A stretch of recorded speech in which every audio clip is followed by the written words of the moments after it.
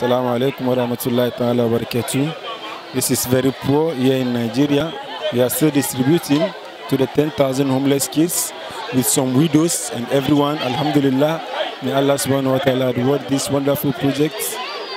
This is so sad how they are fighting for the meat because it's not easy for them to get meat to eat.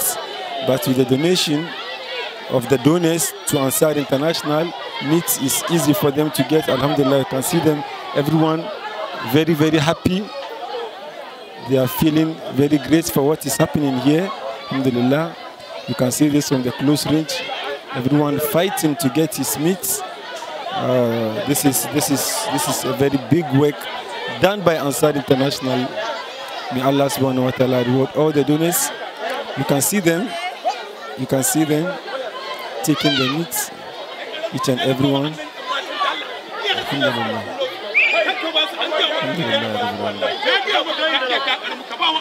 Dajiya.